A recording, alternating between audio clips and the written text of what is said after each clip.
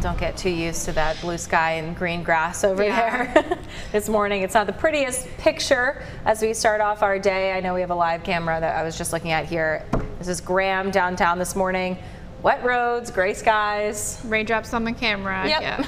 a little bit of a mess. And you know, what, we've got those Christmas decorations up, but it hasn't felt very Christmassy lately. I know. And well, that changes today. It's actually changing right now. Here's a look at radar and satellite where we've got some scattered showers, mostly light blue on this map, but occasionally we're getting yellows and oranges indicating moderate rain, especially in areas like Randolph County. That'll be where we get the most rain as we head through the next couple of hours.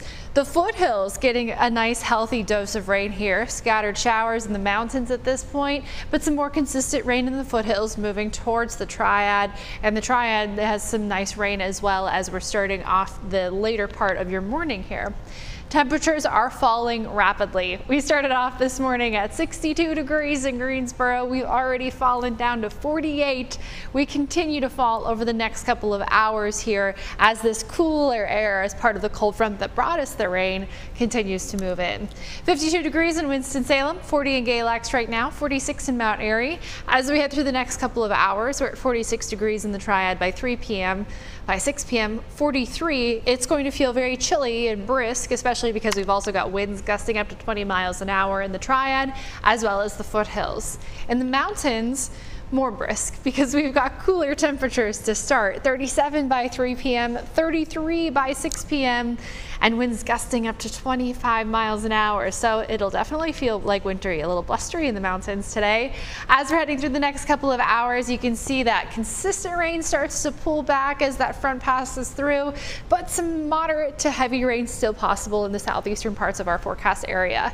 As we head into the afternoon, down to scattered lingering showers, not nearly as consistent as it has been throughout the day yesterday, overnight, and this morning, but a couple more showers possible. And then by the time we head into the evening, we dry out and we cool down considerably. Temperatures falling down below freezing overnight.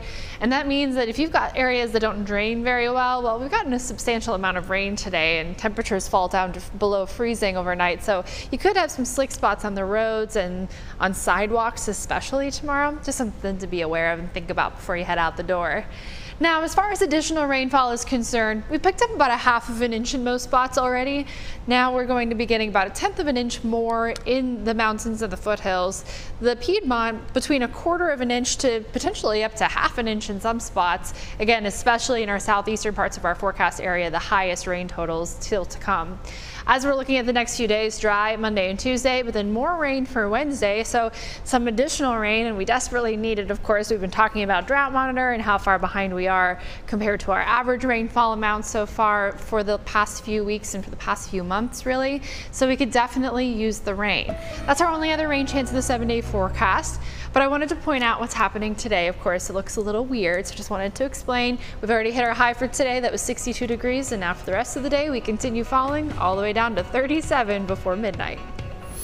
Ooh, cold just thinking about it. Thank you, Jacqueline. Coming up next, helping local businesses in a unique and festive way. We'll introduce you to the elf who is